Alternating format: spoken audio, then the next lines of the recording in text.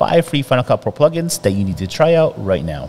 So this one I use quite often in a lot of my short form edits. It's called M Motion Blur by Motion VFX. I love adding motion to my transitions when there's a lot of movement just to hide some of the imperfections and just make the transition look a little bit more realistic. So it can really bring your edit to life. There's a ton of other motion blur plugins that you can use that are free as well. But I like this one since there's several different versions that you can use like dynamic, extreme, regular. You just gotta play around with it and see what works best with whatever you're working with. M Behavior Basic. This one is also super cool. It just got got it recently, but it animates your videos, photos, and text by simply dragging and dropping the effect style that you want on top of your clip. These are all ready to go, ready-made instant effects. It adds more motion to your work, and it's really cool since there's a ton to choose from. I believe there's about 90 that you can choose to drag and drop into your project. I would usually add these in if I want to animate a certain text or logo that's coming onto the screen. But again, you can use this for anything, like I said, clips and photos as well. For me, I think text and logo is where I would use this the most. M Vertical is the one that I like to use when I'm working with vertical videos in a horizontal format. It's a plugin that pretty much does all the work for you. As you can see in this one, by just dragging the plugin on top of your clip, it'll add a background behind your vertical video. Then you can adjust the parameters to better fit your project. If you want your background to mirror whatever your clip is, then you can select that option here.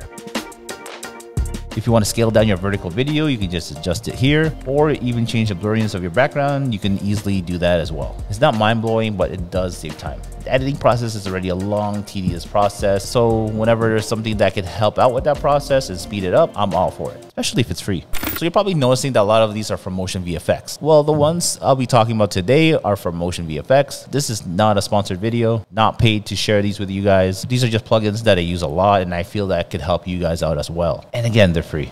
M Vertigo is a cool distortion tool offered for free as well. This one I downloaded recently and still getting used to it, but I think it'll definitely come in handy for a lot of the edits that I do. It easily gives your video or photo that dolly effect. There's four different variations you can play around with, but again, you'll have different parameters to adjust to make it look more captivating. MCam Rig is a plugin that will add some motion to your video. You can add camera movements by easily placing the plugin on top of your clip and adjusting how long you want it to be. So you can easily animate pans, zooms without having to worry about keyframing, which is a tedious process as well. This is something I just recently got a few months ago and still playing around with it, but I feel like it's definitely something that can help with your workflow. And one more I want to add in here, if you don't already have it, is M adjustment layers. If you're not sure what it is, it's basically a layer that you add on top of your clips so you can make adjustments. You can add effects to it, color grade it, color correct. You can do all your adjustments on this layer. It also keeps things organized and tidy as well. It'll make things easier for you to go back and make the changes and at the same time make your timeline look nice and tidy. If you like learning about all these free plugins, make sure to subscribe. But if you want more free stuff, make sure to watch this video here.